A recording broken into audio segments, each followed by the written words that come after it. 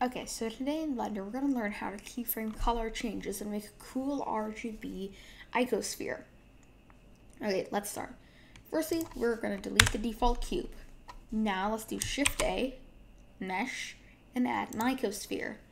Let's click on this little tab down here and change the subdivisions up to around 3. Now, click on your icosphere. Let's go to the Materials tab down here and add a new material. Right now our material is white. We can leave that like that for now. Let's go and change this to view uh, to a shaded mode. This this way we can see the color changes. Let's make sure that this is keyframed once. And now let's move to the 20th frame. If we change the color now in the base, um, if, if we change the color now in the base color and we make it a blue, we can click the button again to keyframe this property.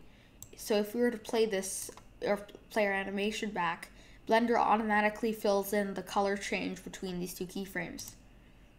And now we have a nice gradient. Let's go to frame 40 and move this all the way over here to the pink part. So that way Blender will fill in that. Let's keyframe it. Now let's go to frame 60. Let's move this all the way to red and let's keyframe it. Now we can do 80. Move it all the way to the green. Keyframe it. Finally, we can do 100 and move this little dot all the way to back to blue and keyframe it. Let's select our circle again and play back our animation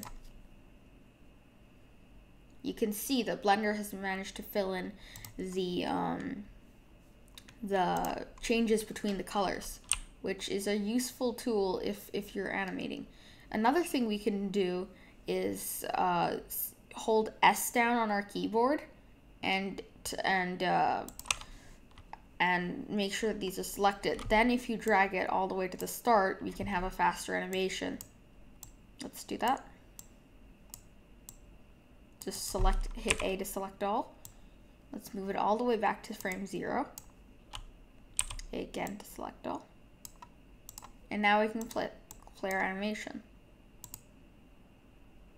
It's much more fast, and if you wanted to slow it down, you could hold S to scale that up around there. Let's play it now. There we go. But if you want to add an emission, we can just go back and do all of these same steps, uh, except instead of doing a um, base color, we can add emission, uh, the color for the emission, which basically means that it's going to emit a certain kind of light, so it's going to glow. Firstly, in order to see our emission in Eevee, let's go and click on this little camera icon. If we're on Eevee, we have to enable a, a setting called bloom in order to see the emissions. Let's go back and let's make sure that we're on our first keyframe. Let's go to emission and let's just turn this V up. There you go. You can see it's glowing now. Let's go to this. Let's go to the next keyframe. This was where it was blue. So now we can change the emission to that same nice blue, like this. Now we keyframe that. Now let's move to this emission right here, it was in the spectrum. So now we can keyframe the emission to violet. Let's keep doing that for all of the rest of the emissions. Now, you might want to know that there are other ways to do this in Blender, but the point of this episode is to teach you this way.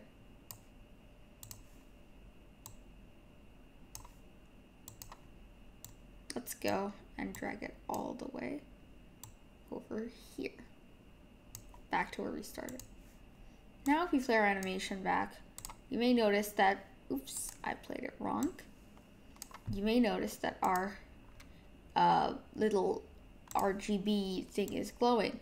And we can turn up the strength. Let's change it to around 5.7. Now we've got a really cool RGB icosphere, and now you know that how to keyframe color changes in Blender. So if you enjoyed this video, please like and subscribe. It will really help me out, and I'll see you in the next one, hopefully.